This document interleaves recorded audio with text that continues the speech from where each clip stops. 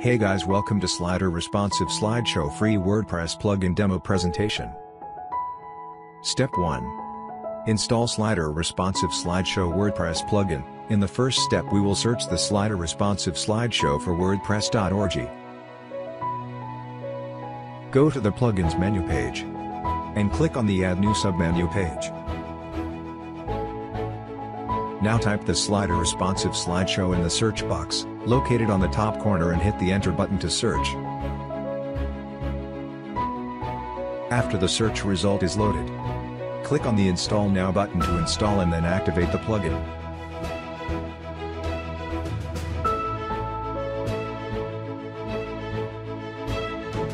Step 2 Create Slider. After install and activate the slider we will create a slider by uploading images. Go to the slider menu page and click on the Add New Slider submenu page. First you can give the title to the slider. Now click on the new slide and select the images you want to add in the slider. After adding images you can sort images posture by easy drag and drop functionality. Now all basic setting apply to the slider publish the slider and copy generated shortcode. Step 3. Publish the slider on a page. Go to the Pages menu and click on the Add New Page.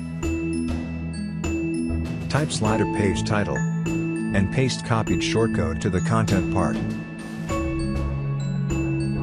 Publish the page and click on View Page to take a look to the slider preview on the website.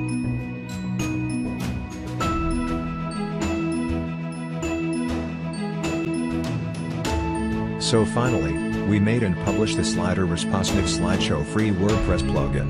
Please like the video, subscribe to the channel for more videos and updates. Also, share the video on social platforms with your friends.